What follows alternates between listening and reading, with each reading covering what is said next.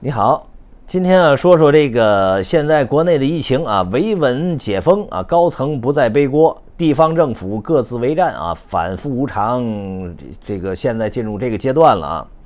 因为呢，这个现在来说呢，疫情防控这件事儿啊，包括动态清零啊，亲自部署、亲自指挥啊。这个事儿呢，在这个习近平身上，包括中中央政府的这身上呢，压力太大啊！因为现在明显的表现出政权的稳定性已经出现动摇，已经出现这种风险了，所以他们看到这个苗头呢，赶快要想办法对策啊！现在能看到的做法呢，就是向地方政府背锅啊，让地方政府去承担责任啊，我们中央不再提了啊！因为这里面呢，呃，包括大学生抗议啊，白纸革命。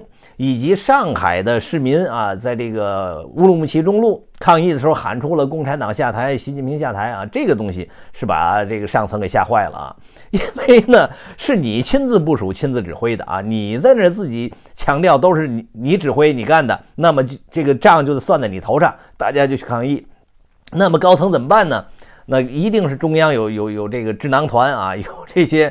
重要的这狗头军师就站出来，哎，咱们把这锅呀得背给甩给地方啊，咱们不能扛着，咱们扛着出现问题，老百姓上街骂共产党、骂习近平，这不行啊，你得让他骂地方政府去啊，让他在地方那个级别去抗议，所以咱们不要再扛那个动态清零大旗了啊。所以现在呢，就在扭转这个方向啊。另外呢，从维稳的这个动作上看呢，一个最明确的动作就是大学生回家啊。其实呢，让大学生提前放假回家，就是一个非常明确的维稳动作和措施。因为大学生这个群体呢，太可怕了啊，太吓人了啊。大学生在任何国家。都是这种呃，积极为了国家民族的前途命运啊，用心良好、用心良苦的一代，在哪儿都是政治正确。所以大学生的诉求呢，特别能够引起社会的呼吁，以及国内和国际上的关注。所以现在一定不能让他们聚堆儿啊，不能让他们聚集。所以赶快让放假啊！今天我看见是武汉大学吧，好像还是哪个大学，呃，也在抗议啊。为什么呢？就是学校让他们回家，他们觉得。不能回家，这这课程没完呢啊！就是说这个要科学决策呀，这个那个也因为让他们回家也产生了抗议，所以呢，大学生群体确实是一个比较厉害的这个白纸革命。这次就是确实年轻人啊，大学生这这功不可没啊，他们做了巨大的牺牲和贡献啊。呃，那么这个是从维稳的角度啊，把这个解封，把这个包袱和这个大旗扔掉啊，让地方政府去背锅啊。那么这是其中的地方政府是一个背锅侠啊，就是说退出动态清零这种趋势，地方政府可以去背锅啊，让地方去给皇上舔腚啊。你皇上那弄一裤子屎怎么办？地方这这这这些舔局高手们，你们来舔，你们给舔干净就完了啊，何必我们皇上担着这事儿呢？所以甩给地方政府啊。另外一个背锅侠比较明确的就是现在的核酸公司，它创造了一种民间的怨啊怨气爆发的一个。出口啊，就是核酸公司，呃，揭露什么核酸公司这个乱象那个乱乱象。其实这种乱象不是今天就有的，一直就有啊，只是这个媒体和中宣部不愿意报啊。他想报的话，一定有各种各样的问题啊，因为你这个。本身你这核酸检测就不透明啊，你的结果是哪儿做出来的？怎么个结果出来的？到底是谁哪个公司做的？前后来龙去脉怎么回事？根本大家都不知道啊！所以呢，这里面一定是巨大的黑洞。所以现在把这些个别能拎得出来的拎出来，给大家喷一喷当靶子啊！所以呢，这也算是一。一一块背锅侠，当然呢，有很多呃外界的传闻啊，说这个核酸公司里面有这个家族那个家族啊，现在咱们也看不到啊。我估计肯定会有啊，因为你一般公司能干了这事儿吗？你没没有关系，你能干干核酸检测吗？这发大财的事儿啊！但是这种发大财呢，现在其实来说呢，好多我看到的消息呢是挣了个数字，没挣着钱啊，因为地方政府没有钱啊。你做吧做，反正没有没有钱付给你，没法结账啊。我是欠你多少个亿，但是我现在没有钱，结不了账啊。所以呢，他们挣了个数字啊。那么所以说，从现在来说呢，高层找到了两两块吧，基本上两大块，一个地方政府，一个核酸公司啊，一个是从这个呃政府层面。地区啊，另外一个从这个执行层面啊，核酸公司找着这两大块背锅侠，让他们背锅就完了。那么现在的这个疫情管控呢，呃，从中央媒体上啊，这个甩锅和舆论的方向能看得出来，就是不再提什么这个疫情方面的事儿了，改方向了，不提了。你比如说，举一个最简单的例子啊，今天的人民日报啊，人民日报的这人民网的首页就没有任何跟疫情有关的消息啊。今天人民人民网的首页就是什么江泽民的这个事儿，怀念江泽民同志。然后神舟十四号载人飞船在下边一条是什么？轻工业企业实现增长百分之九点八，然后稳就业、促创业、助企业，一笔笔民生资金怎么怎么样？然后下边啊，奋斗精神如何如何说？前十几条啊，门户这个人民人民网的前十条新闻跟疫情都无关啊。有一个河北的有啊，全力做好保供工作，就河北省树立一个典型啊。疫情要防住，经济要稳住，民生要保住啊，等等，这这这这表扬了一下。那么从这个中央级别的这些媒体。这个风向就能看得出来，现在改了，改改说经济了啊！你看这个，他现在强调稳就业、促创业、助企业啊，就开始干这事儿了。就因为经济不行了啊，所以不要再强调这个疫情，疫情他自己背着这这这这个大包袱，那老百姓上街就直接让共产党下台，他受不了啊。所以呢，他可以让地方政府啊，你地方政府来。所以呢，现在就出现了一些。呃，各地的乱象啊，地方政府在反复无常的拉抽屉，这个是没办法的，这肯定会出现。比如说现在合肥啊，我今天看那个凤凰网上合肥出现一个消息，呃，合肥要求合合肥日报说坚持人民至上。防控寸步不让啊，然后说这个这一这个疫情全力防输入，然后做好什么核酸检测，各路口严防死守，什么水陆码头必须落地检，这个那个的还挺严啊，还挺严。所以呢，他们那疫情看来是没没完事儿。然后呢，这个山东呢说，山东不仅取消了公共核酸检测，连健康码也不查了。然后呢，这个杭州也说，杭州也不看健康健康码了，也不看也不做核酸了，和这个杭州就全开放了啊。呃，所以各地的情况不一样。但是今天呢，我又看到这个北京啊，北京，呃，我今天下午在这个推特上看到啊，就是北京有好多区今天又开始重新四十八小时的核酸这个阴性证明，还有很多很多核酸亭又重新开了。为什么呢？就当时说把核酸的这检测都撤掉，但是出现了一个严重的问题，就是在办公楼卡脖子的问题。就是你是不做核酸了，但是办公办公楼不认，不让你进。你没有核酸，我怎么能让你进去嘛？其实呢，就说明在。管控的这方面呢，责任他没有解套啊，就是这些责任主体还背着锅呢啊，就是你这个写字楼、那个医院、这个商场、那个地铁站，你都还扛着这个责任呢，你这责任没解套，所以你说你们不做核酸，那你没有这个证明，你就不能上车，你就不能进楼，我就不能让你进啊，因为这个这个这个责任的套子我背着呢，除非你不进来啊，所以呢，他的这种呃这个这个核酸检测。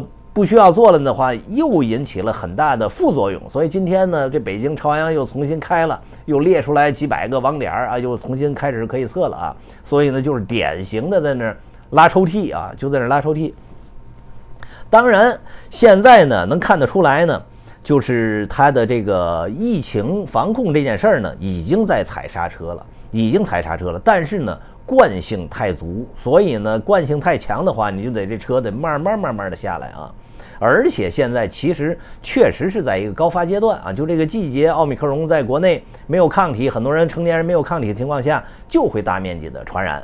所以呢，很多人呢就是无症状还没事儿啊，但是你有了症状也是他害怕的，他怕他那他怕真真的破防啊。所以呢，现在来说呢，应该是我猜测啊，我估计是给各地方政府不许破防啊，不许这个这个爆发。但是呢，我在中央层面呢，我也不跟你呼应啊，你们自己去干你自己的，各自为战啊。这个反复常就出现在各各地了，中央呢也不给你站脚助威了。之前呢，中央还亲自部署、亲自指挥啊，动态清零，什么毫不动摇、总方针，这个那个，中央这大旗扛着，啊这圣旨举着啊，所以下边也好干啊。所以那大白呢理直气壮。但是现在呢，就变成各地自己去背锅了，所以呢。各地一定会出现很多的乱象啊，因为各地的疫情不一样，而且今天的这个啊，昨天吧，昨天的这个《光明日报》啊发布了一个文章啊，其实呢也是最新的口风，它的题目叫“因时因势优化防控措施”。然后这个文章里哇哇哇说一大堆啊，其中有一句呢，就是说优化完善防控措施要因时因势加强研判。因时因地优化措施，让防控工作更精准、更有效、更符合。哇哇哇，说一大堆。然后，目前广州、深圳、重庆等地分别做出相关部署，强调按照什么什么什么。其实呢，这就是已经啊，把这个这个这包袱呢甩给地方了，你们自己去扛啊。但是责任你们还得背，你不许破防啊。但是你这地方要闹事儿也不行。所以 现在等于就是。不能，他惧怕老百姓上街喊共共产党下台，习近平下台，你不能喊这个啊，你不能，因为之前他背着这个亲自部署呢，所以这这这这个这个责任他背着呢啊。但是现在呢，他把这个抛掉了啊，就是我们。总的趋势和各个门户网站的这个风向上都是在放松，包括今天还有高福的一个报道啊，中科院院士这个这个呃卫健委的专家啊，高福说他们的团队呢研发了一款名为 HY 三千鼻喷雾剂的抗新冠多肽药物啊，这个药物呢是喷剂啊，鼻子的喷剂，然后呢已经做开始进入二期的临床实验，然后呢。效果非常理想啊！临床实验这个合格之后呢，再进行下一步的工作。所以呢，他把这种消息往外放呢，其实也是给民间的一种吹风，告诉你们，哎，这个情况现在好转，我们药物研发出来了啊。今天呢，还有一个消息呢，就是最近这两天啊，就是说这个卫健委在讨论啊，这现在的新冠病毒疫情是不是可以降为乙类传染病啊？就是把这个风险给它降低了啊。风险降低这一块呢，到底能不能做到呢？还要看疫情的发展和病毒的变异的情况。其实也是吹风啊，也是向大家传传播啊，告诉你们我们在放松的这个趋势、大趋势、大方向、大宣传都是往这个疫情防控方面走。但是各地呢还背着锅，还卡着脖子呢，所以呢现在还是会比较乱啊。这个原因就是因为中央不想背锅了啊，高层要把这锅甩下去啊，你们下边地方给我给给我舔干净啊，你们给我背着这个啊，你们你们得完成这任务啊，出问题还得问责你们。但是我现在不给你们背书了啊，不给你们站脚助威了，你们各自为战吧啊，大致就是这么一个呃情况啊。但是我觉得呢，呃，这种这种形式啊，可能还得再乱一阵儿啊，大概我估计可能。春节前啊，春节前我相信就是一线城市可能会好一些啊，因为呢，毕竟一线城城市的这种，呃，维稳的成本太大，维稳的风险太大。因为你北京、上海、广州这种大城市一上街游行抗议，这这这中央受不了。你这比如说安徽啊，小村小镇呐，西北的小小城市啊，闹一闹，他他无所谓，他能他能他能搞得定啊，他不怕。所以呢，他把这些一线城市有国际影响力的这个呃风险比较大的这个 这个城市呢，他给放松啊，创造一种这个风向，就是感觉啊疫情放放松了啊。另外还就是让大学生回家啊。所以我觉得大概春节前啊，应该会有一个呃好转，应该会有好转，因为现在这个病毒传染很快。现在是十二月初，那么在春节前呢，估计一线城市的人都感染的差不多了啊。可能到有一个小爆发啊，但是这是不可避免的啊。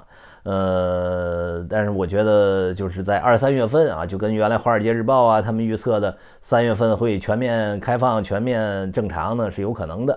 因为现在主要是经济啊，经济不行了。你看《人民人民日报》、人民网现在头一条就是促就业、促创业、助企业啊，一笔笔民生资金直达送达。它就是经济不行了，所以它现在要马上转风向，赶快恢复经济。而且人民网的这个基本上这个头一个版面的主要新闻里头都没有提到疫情的事儿啊，都是各地的什么是这个经济怎么回事啊？中国空间站如何如何呀？浙江宁波全力保障重点企业啦，什么黄河流域治理、水土流失啊等等这些跟疫情无关的事儿，呃，它就是转向了啊，就中央不背锅了，你你们地方来吧，大致就是这个方向啊，但是还得可能乱一阵儿。好吧，请大家点赞订阅，谢谢。